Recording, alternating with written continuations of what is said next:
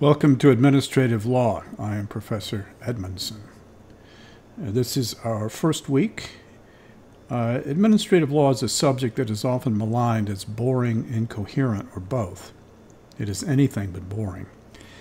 If it is incoherent, it is only because it encompasses so much of what is important to us, both collectively and as a plurality of individuals.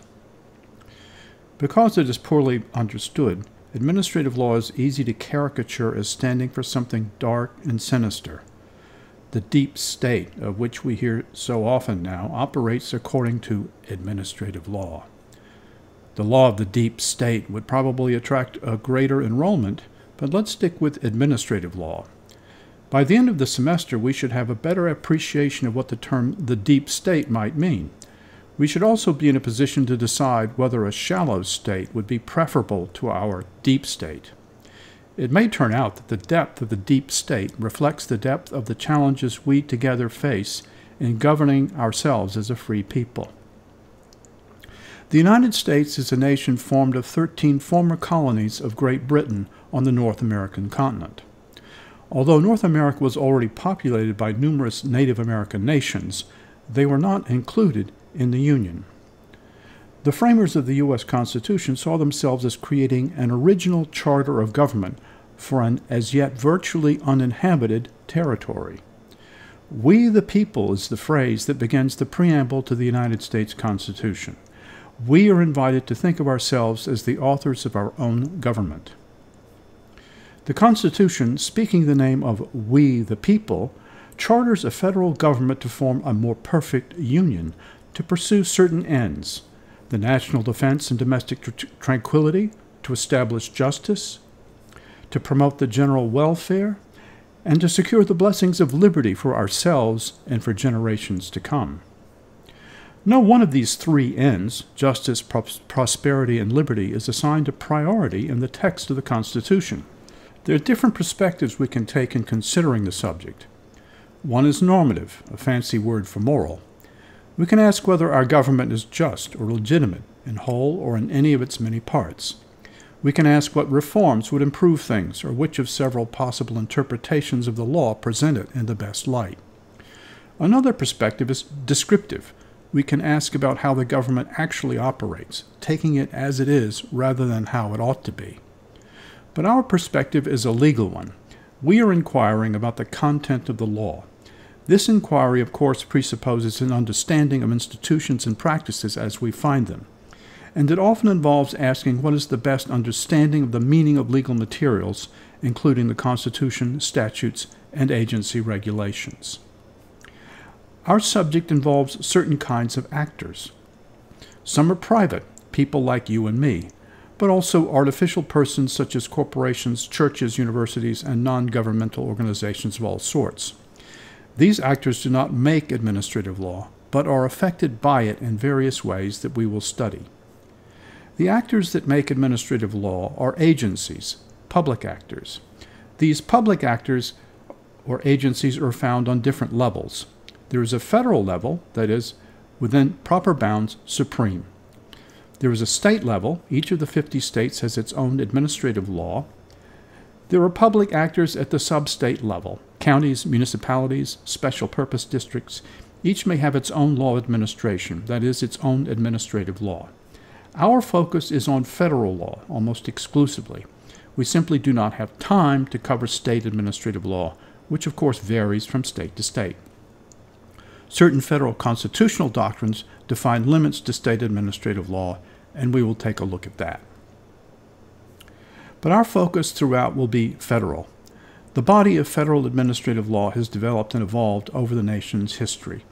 Although some aspects of American history can be grasped without any reference to administrative law, there are others that cannot be understood in any other way. There is a sense, then, in which understanding administrative law is part of our understanding of ourselves, of our self understanding. The U.S. Constitution defines a government of three branches. Article 1 sets out the nature and powers of Congress. Article 2 defines the office of the President, the Chief Executive and Commander of Chief of the Armed Forces, and its powers. Article 3 of the Constitution defines the judicial branch, the Supreme Court and whatever lower federal courts Congress might create. Looking at the executive branch, the only office explicitly created is that of the presidency itself and the vice presidency. During George Washington's first term, Congress created the office of Secretary of the Treasury to receive revenue, pay bills, and otherwise manage the young nation's finances. Congress during that same term created the office of Secretary of War, now known as Secretary of Defense. During that term, Congress also created the office of Secretary of State to manage foreign affairs. Congress also created the office of Attorney General to handle legal affairs and prosecute crimes against the United States. Finally, during that busy first term, Congress created a post office so that the people could more easily and reliably communicate. In 1849, the Department of the Interior was created to manage the vast lands belonging to we the people. In 1862, early in the Civil War, Congress created the Department of Agriculture. In 1865, near the end of the Civil War, Congress created the Bureau of Refugees, Freedmen, and Abandoned Lands, known as the Freedmen's Bureau. Housed in the War Department, the Freedmen's Bureau relieved hunger, built hospitals, legalized marriages and resettlement of refugees, and integrated the freed slaves into the labor force. It helped build schools and colleges. The Bureau was fiercely opposed by President Andrew Johnson, and agents of the Bureau were subject to terrorism in the South as a focus of racial animosity. The Freedmen's Bureau was permitted to lapse in 1872. In 1888, Congress created a Department of Labor.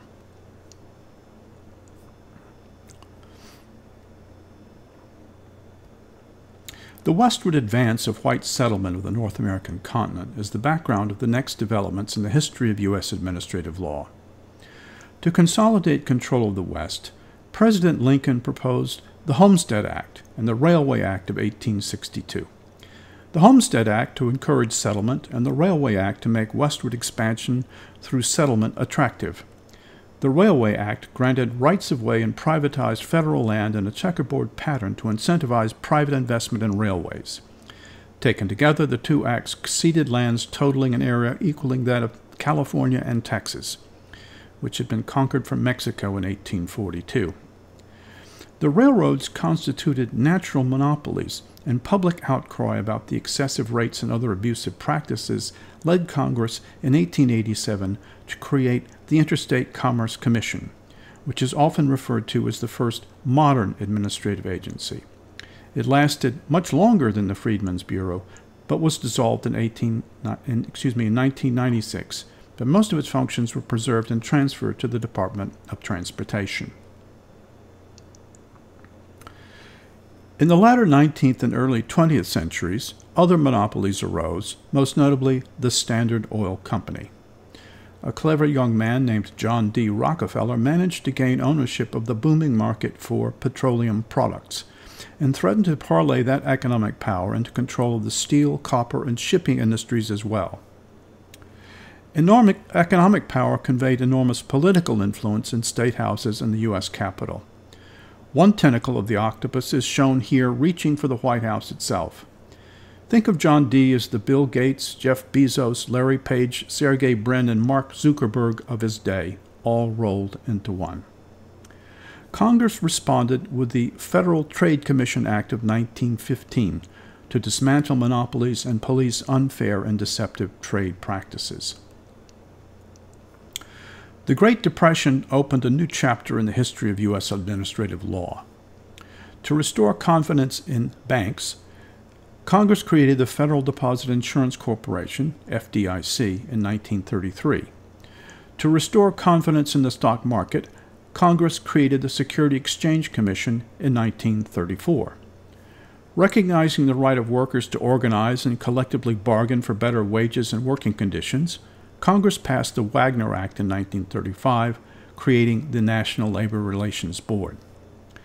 The Social Security Board, precursor to the Social Security Administration, was created to provide for old age and disability.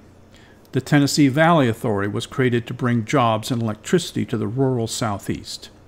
Most sweeping and most controversial of all was the National Industrial Recovery Act of 1933, intended to give the President broad powers to overcome the Depression its central provisions were declared unconstitutional by the U.S. Supreme Court in 1935.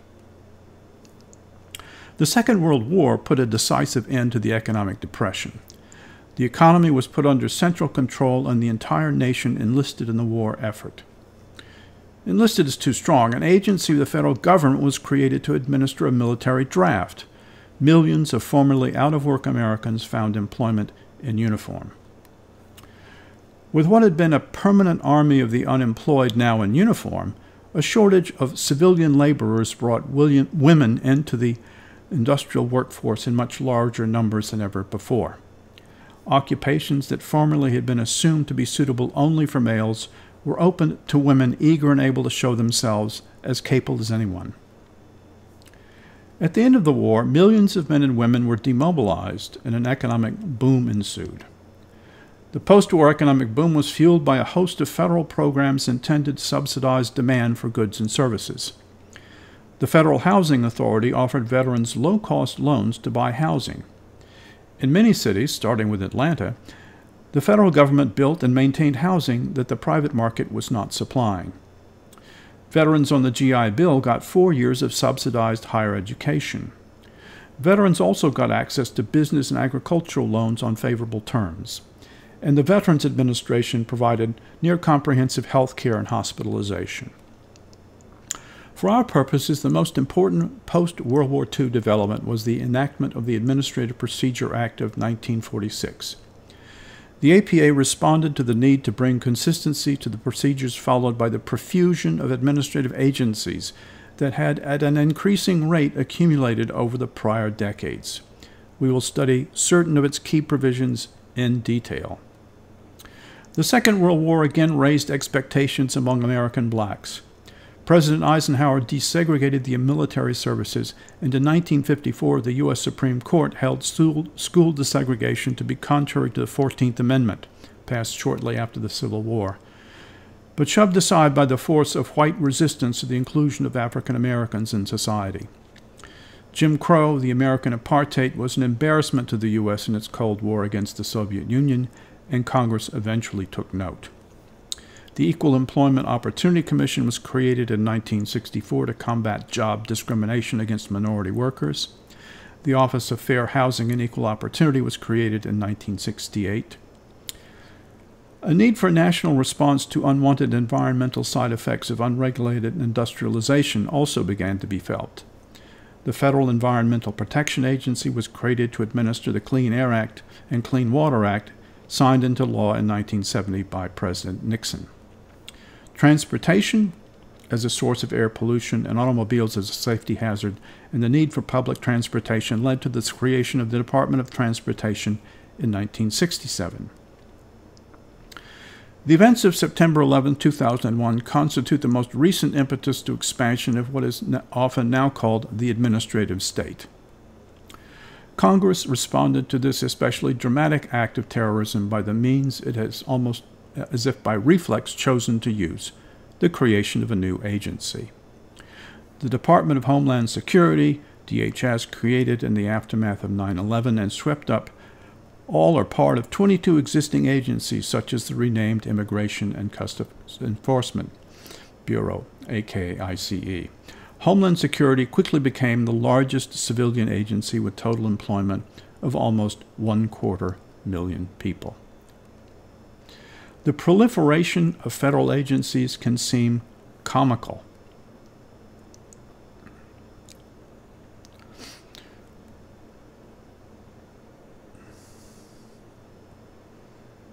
But not every governmental entity is a federal administrative agency. For example, Georgia State University is not. Many federal agencies are nested within other federal agencies, so a definitive count is difficult. An estimate of about, say, 250 agencies is close enough. In administrative law, we want to study the forest and examine particular trees with an eye toward what they have in common. Each federal administrative agency has its own charter, its own history, and its own culture. Other courses in the curriculum, such as tax and securities regulation, go into details that we will only skim over as instances of the larger picture.